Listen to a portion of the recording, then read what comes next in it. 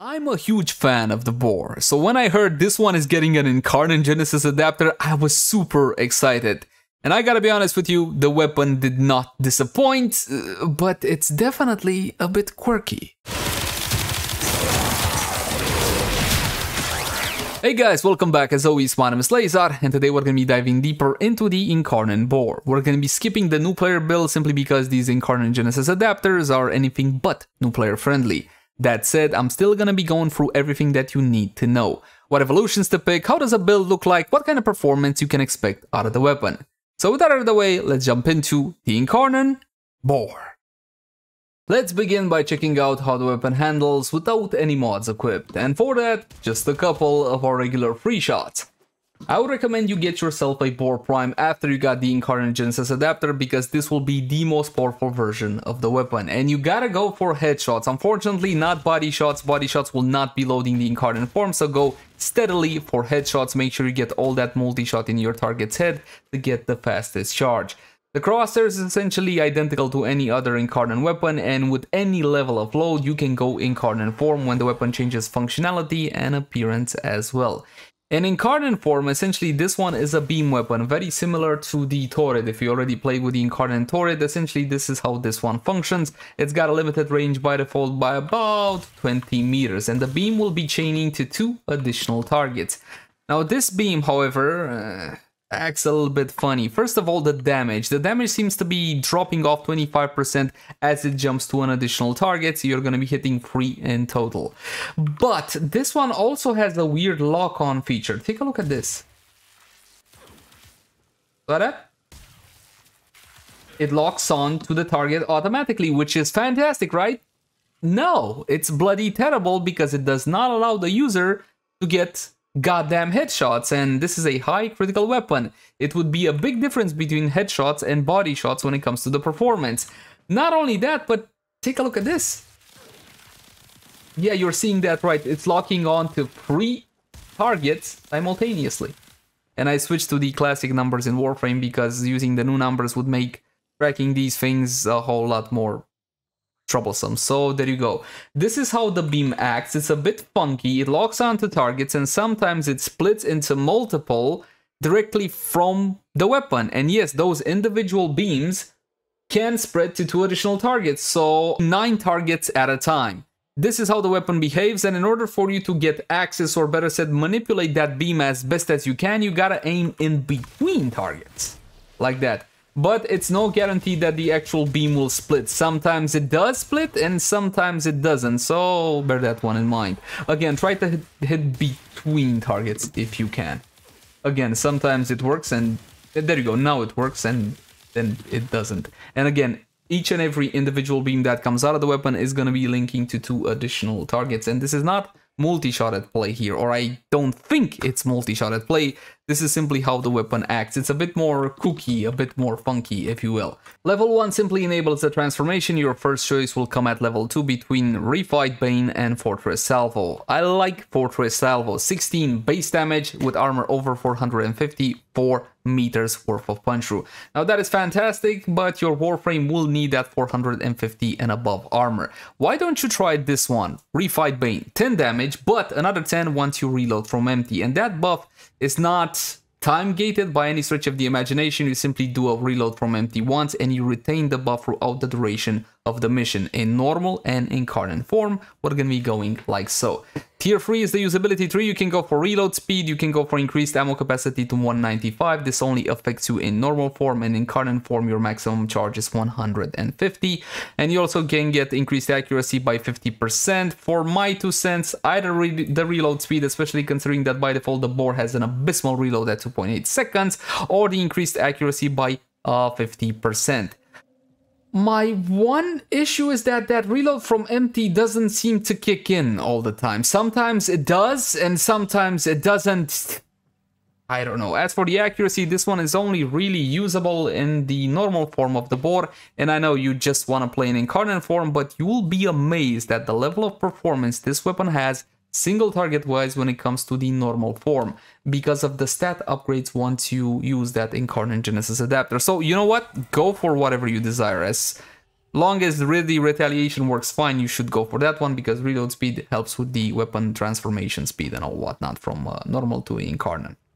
Evolution 4, these are the juicy ones. You get yourself increased status chance by 12%. And I know that you guys don't like elemental balance. We want more crits on our screen. Yay, pretty numbers. In which case, you're probably going to be going for this one, critical parallel, 20% critical chance. Yes, that is a base value in the sense that it increases the base goes to 40%, which is absolutely huge, and that 2.7 uh, critical multiplier because it also gets 0.5 from this one.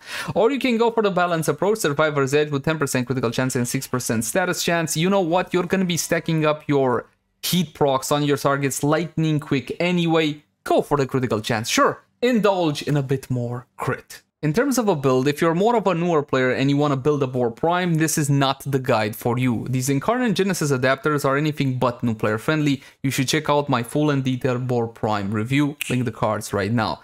But if you're the kind of tenor that simply wants a build to slap on the weapon and you don't care how things actually work, you can simply use this build and it's gonna be getting the job done no problem. As for an endgame setup, you're looking something like this. Let's get the elephant out of the room. You're to be building what? Viral heat or corrosive heat? What you can do is use a secondary primer and build viral like that and not build it on the weapon. But if you're to be coming across something like Steel Path Circuit, then you're up a creek without a paddle. I prefer my weapons to be self-contained and to be able to deal the damage without any outside help. But if you're going to be building viral through something like Grendel's ability, through the Helminth system, or you want to use a secondary epitaph, you can renounce the viral on the build because when it comes to shotguns, there's a lot. And I mean a lot of fantastic mods that you can use on this one. Galvanized Hell, Galvanized Savvy, yes, it does work and it's going to be bouncing off Heat, Viral, and Slash from Hunter Munitions because you got a Hunter Munitions in this case considering the super high crit, 120% and I'm only using critical deceleration thanks to that 40% base. It's absolutely insanity. If you don't like Bane mods, dude, I don't like a Bane mod. Whatever, I don't want to use them, fine. Go with Prime Point Blank if you're gonna be going with Prime Point Blank and you're getting a truck ton of flat damage through Prime Point Blank and Galvanized Savvy, forget about Merciless. Instead of Merciless, use Vendetta.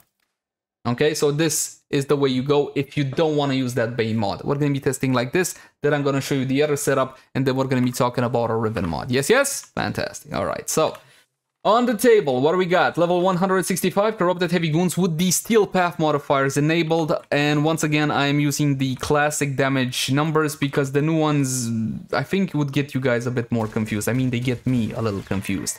This is what we'll do. I'll show you the weapon's performance in normal form after a couple of kills, and then I'm gonna go in incarnate form. Trust me, it'll be worth the wait. So, a single shot in this guy's head. Look at that. That is insanity. And by the way, the weapon is not fully stacked. The slash values can get to crazy high levels. And if you think that the 100 something thousand slash is impressive, ooh, you haven't seen anything just yet. My point is the weapon can easily one-shot high level steel path enemies without any issue. Even if you're talking about corrupted heavy goons, which let's be honest, they may not be the absolute toughest targets, but there are no pushovers either. With a single shot out of this weapon, you're looking at 12 slashes, 6 vitals, and a couple of impacts as well, something of the sort. This is not a slouch of a weapon, even in its normal form, thanks to the bonuses from that uh, Genesis adapter.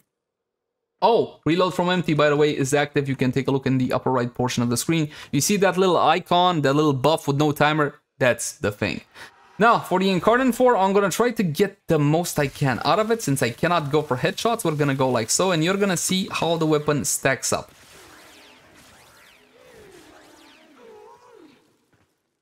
Now that is not bad. But if you use the Torid, you probably saw this kind of performance before. Honestly, the weapon can melt absolutely everything that stands before it.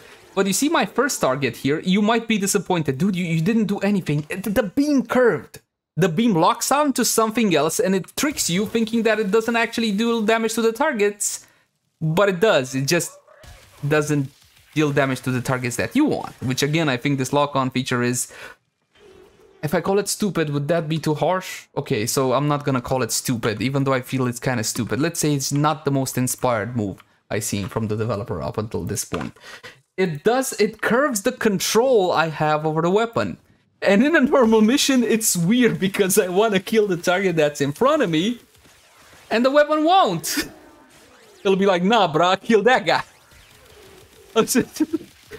Why? Why do you do this? Don't get me wrong, the power is here. It's like there's a truck ton of power here. But why did you take away my control? Especially considering that I don't get access to that fantastic headshot multiplier, which matters a whole lot, especially on a high critical weapon. Anyway, that's enough rambling about that. We're gonna be taking away Shotgun Vendetta. We're gonna go with the Prime Cleanse mod and instead we're gonna go for the tried and true recipe of what was it? Primary merciless. You can even play with frostbite if you want. Yeah if you can get some cold on the weapon or some other way you can even play with that one. As for the exilus slot at this point i think you all are smart enough to know exactly what to use in that one. Yeah?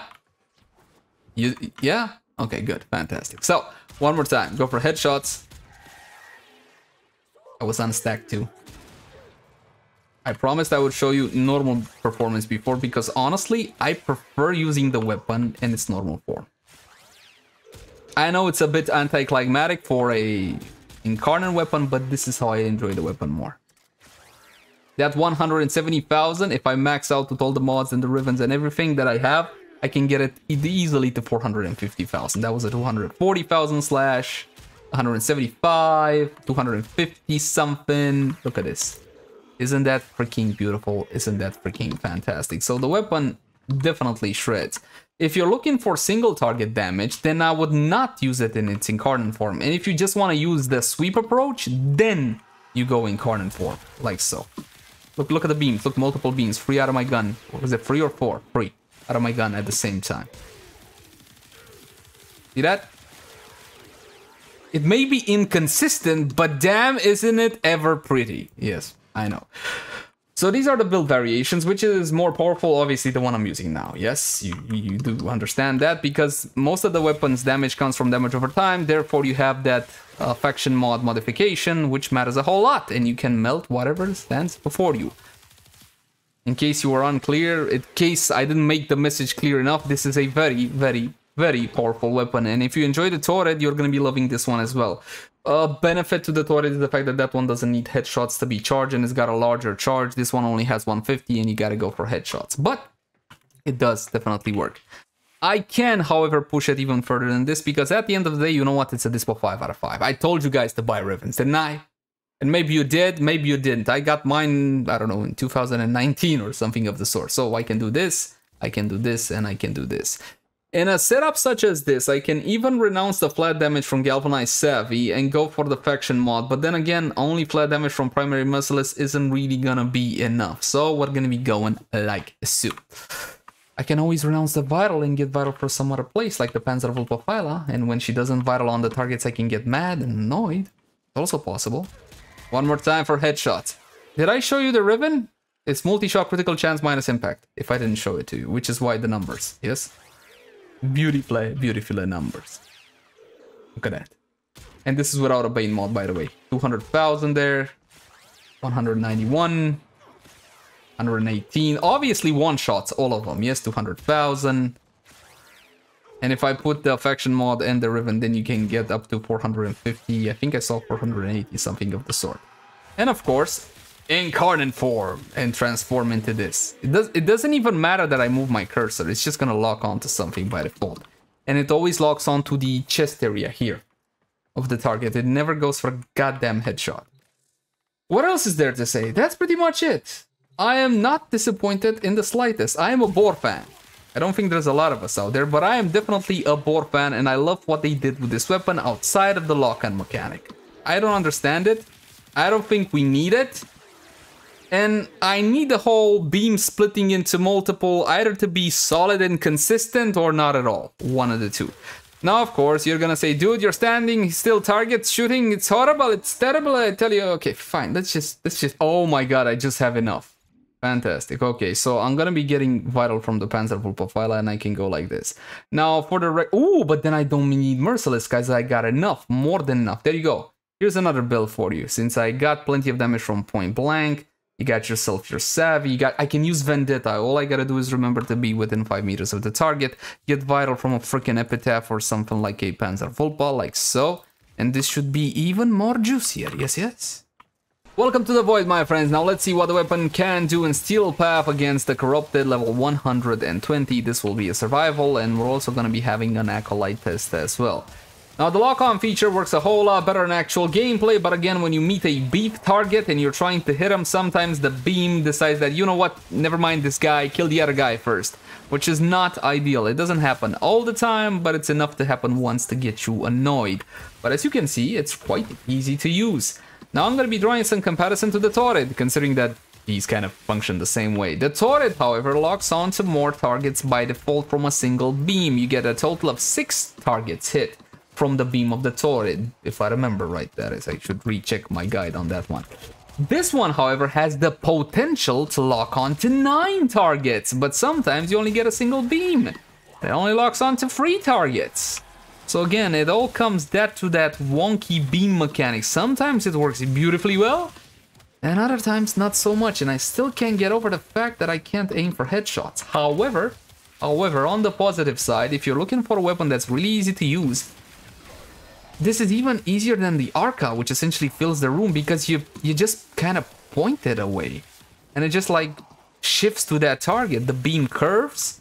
It doesn't really curve, it just changes direction like that and locks onto target. So it's super, super easy to use. If you don't enjoy weapons that need to be aimed, totally unironically this time, definitely go for something like this. It's extremely easy to use. You're gonna have no problem with this one. As for actual performance, obviously it was gonna clear normal level steel path without any issue, considering the stacking of the buffs, you're gonna be able to kill high level as well, and when I say high level, I mean levels in the thousands. Right now, I guess you noticed the fact that my Vulpaphyla doesn't have the chance to apply Vital Procs because everything dies way before she actually gets a chance to wake up. In high levels, however, that should not be the case. You're going to be taking a little while longer to kill your targets, giving the Vulpaphyla the time to apply the Vital Procs, which will mean much, much beefier damage over time. Was that a flash? Was that a flash? That might have been a flash. Was that you, Santa? Oh, look at Santa! There we go. Full charge, incarnate form, let's angst. Okay, so this is a good situation because I'm one-on-one -on -one with her and the beam will only lock onto her. But as you can see, damage that I'm dealing isn't that fantastic. Why isn't it all that fantastic? Simple. This weapon relies on dealing damage over time through procs. And as you know, no Acolytes can only have 4 at a time of a single proc. Look at the health bar of Angst. So I'm gonna change to normal when I know I have more flat damage and I'm gonna shoot her in the face, like this. Which should make a bigger impact. Does it? Hmm think it did. Where'd she go? Don't tell me she freaked off. I think she's there somewhere. You know what? Let's just activate AoE. There's too many damage numbers on the screen. A pretty weak showing for the Acolyte, but I expected as much considering the amount of flat damage that this weapon has. Again, it kills with procs. So when it comes to an Acolyte showing, not exactly the most powerful weapon you can take person as an Acolyte. But if you want a secondary weapon that can blow up an Acolyte before you get a chance to finish your blink, link the cards right now. Very well, gentlemen, let's draw some conclusions. It's a good weapon. It is certainly a very powerful weapon, but it's got some wonky mechanics. Now, I can't say at this time, since it's still early days for the weapon, if that lock-on mechanic, if that beam is supposed to function like that or not. To me, it looks like that's what they intended. It does give the Incarnon Boar an added flavor that none of the other weapons do, granted, but it also, I feel it limits the usability of the weapon and doesn't really help players that legitimately like to aim. And again, you are missing out on that headshot multiplier, which would hurt a whole lot more considering the high crit this one is capable of. I fully recommend the weapon, it is powerful and you're gonna be loving it if you're looking for weapons that are easy to play with. There are a few other incarnate weapons which are on this level of ease of use, so I can at least give it that. What do you guys think about the Incarnon Boar? Let me know in the comment section down below. Are you happy? Are you not happy? Are you pleased? How did you build yours? As always, my name is Malazar. Thank you guys so much for watching. Like, favorite, share, and subscribe only if you enjoy the content and stay tuned for more Warframe awesomeness. I'll catch you guys in the next one.